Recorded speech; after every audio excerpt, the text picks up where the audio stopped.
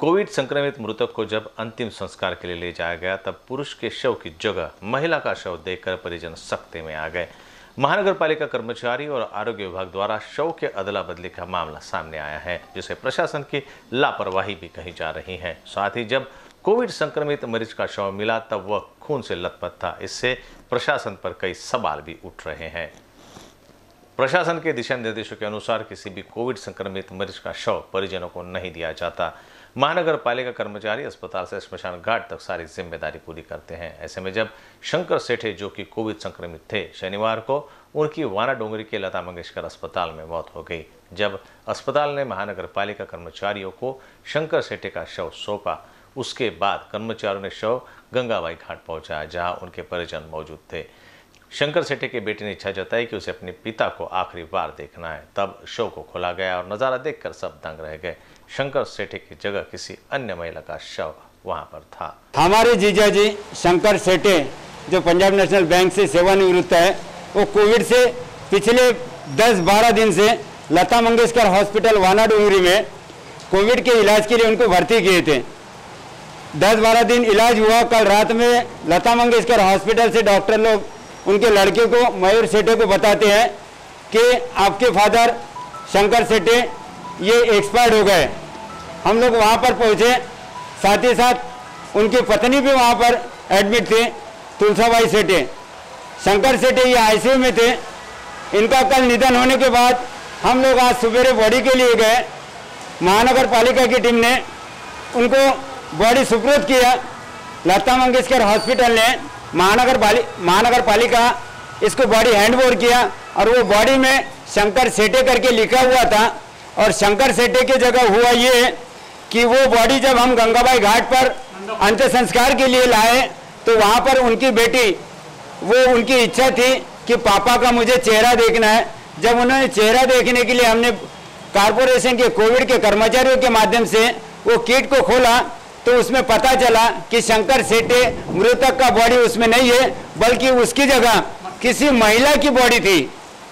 हमारी आँख खुल गई। हम जैसे महानगर पालिका को फ़ोन किए, उन्होंने कहा कि तुम लता मंगेशकर हॉस्पिटल में फ़ोन लगाओ। लता मंगेशकर वाले वो बोलते हैं कि हमने तुमको बॉडी दिया, अब तुम देखो, परंतु वो कोई मदद करने के लिए तैयार नहीं थे।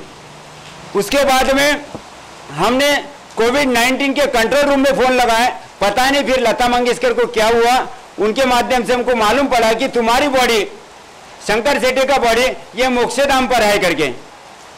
फिर मोक्षधाम वालों ने एंबुलेंस के माध्यम से बॉडी को यहाँ पर भेजे और फिर वो बॉडी, महिला की बॉडी के जगह शंकर सेठे का बॉडी भेजा और शंकर सेठे का बॉडी में महिला का नाम का स्टिकर लगा हुआ था। ये है दवाखाने के आरोग्य विभाग की लापरवाही। जिसके कारण जनता को भुगतना पड़ रहा है। आम जनता, हर इंसान इससे परेशान है।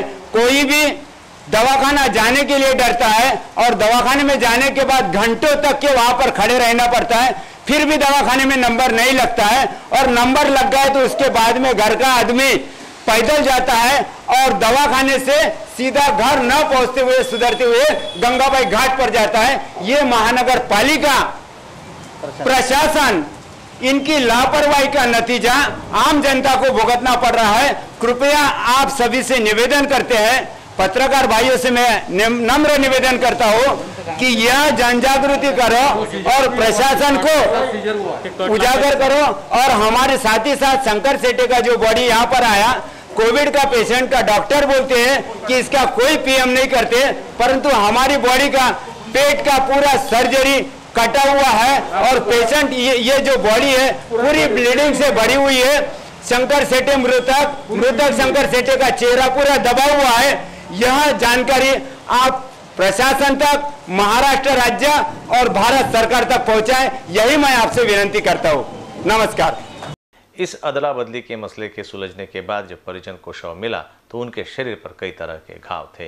नियम के अनुसार कोरोना से मरे व्यक्ति का पोस्टमार्टम नहीं किया जाता, लेकिन शंकर सेठे के शरीर पर कई तरह के घाव थे और पूरा शव खून से लथपथ था।